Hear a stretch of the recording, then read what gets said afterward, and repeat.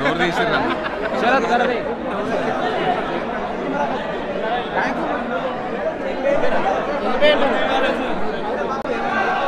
ఏ PS చాలా బాగుంది కదా ఇట్లాంటి పౌరాణిక చూడటానికి చాలా ఆసక్తికరంగా ఉన్నాం మేము కూడా. స్టోరీ బాహుబలి రేంజ్లో చాలా గ్రాండియర్గా అనిపిస్తుంది కదా. సో సినిమా ఎలా ఉంటుంది?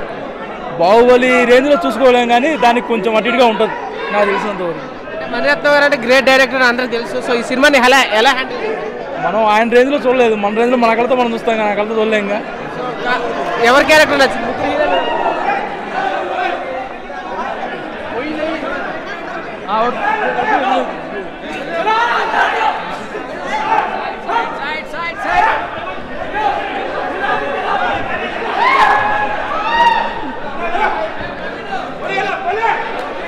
ఏమనిపించింది? ఏమన్నా బాగుంది?